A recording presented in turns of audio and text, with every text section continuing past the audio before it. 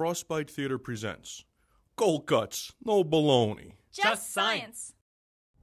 Hi, I'm Joanna. And I'm Steve. Today, we're going to measure the diameter of the sun. Aww, but not your sun, this sun.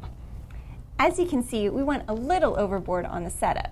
All you really need is a piece of aluminum foil and a piece of paper. Poke a small hole in the foil and use it to project the sun's image onto the paper.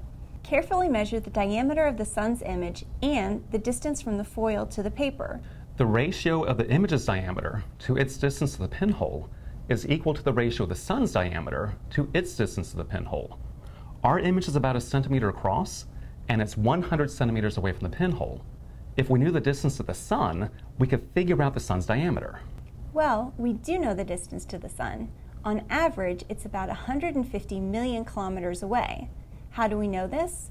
Early methods for measuring it included timing the transit of Venus or measuring the parallax of the asteroid Eros and then applying Kepler's laws. Today, we bounce radar off the inner planets and then apply Kepler's laws. Now that we know the distance to the Sun, we find that its diameter is about 1.5 million kilometers, which is close to the accepted value of about 1.4 million kilometers.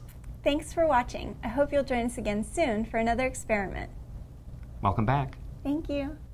It's nice that you're finally fitting in frame again. Hey now, shut your mouth. Sorry, but you're big.